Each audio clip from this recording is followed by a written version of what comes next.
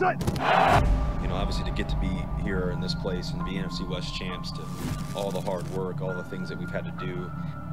Being able to go out there and play in a championship level, championship game, win a division for the first time in my career is dope.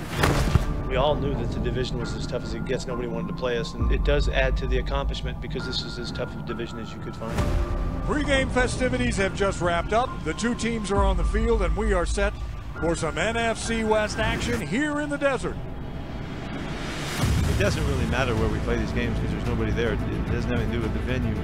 Everybody needs to stay locked in. Everybody knows that's where we're at with it. Russell on the move, left side, pulls it down. He's going to run. He's going to get it in. Touchdown, Seahawks! This is a championship team. They have all of that in their heart and their background and, and their experience, the coaching staff, all of that. They're a tough football team regardless of what their record is. Russell looks, goes back inside, ball is caught. It's Metcalf who makes one man now, two men miss. 30, 25, 20, turns upfield. They don't touch it. Touch